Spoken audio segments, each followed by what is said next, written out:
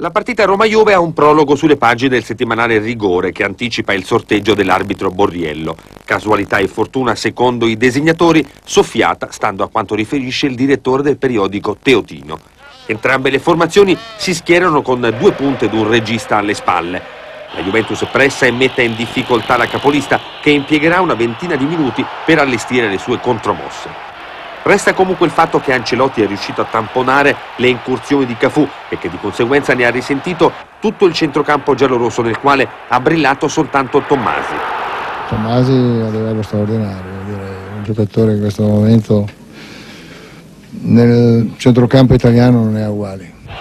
Alla Juve è mancato soprattutto il reparto avanzato, dove peraltro Inzaghi, reduce da un'influenza, non ha dato il meglio di sé, fatta eccezione di un tiro in corsa che ha sfiorato il palo. Uh ha avuto non tante opportunità come nessuno degli attaccanti questa partita le ha avute, nemmeno Battistuta ha lavorato per la squadra e ha fatto bene.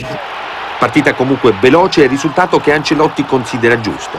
Ci sono stati momenti della partita dove c'è stata supremazia della Juve, momenti in cui c'è stata quella della Roma, tutto sommato e quindi è stata una partita penso con un risultato giusto. Alla vigilia Capello considerava un pareggio come una mezza sconfitta, valutazione solo in parte modificata a fine gara. Eravamo vittoriosi questa sera, più tranquillo, però soddisfatti lo stesso, proprio per la dimostrazione che abbiamo dato in campo. La Juventus ricorda la sfortuna in occasione del palo di Ferrara. In casa Roma si cerca di smorzare i toni riguardo al presunto rigore negato per fallo di Pessotto su Totti. Un tocco sul piede sinistro del capitano giallorosso in realtà c'è stato, ma anche questo è avvenuto fuori area. All'Olimpico ieri sera si sono affrontate due delle principali contendenti per lo scudetto.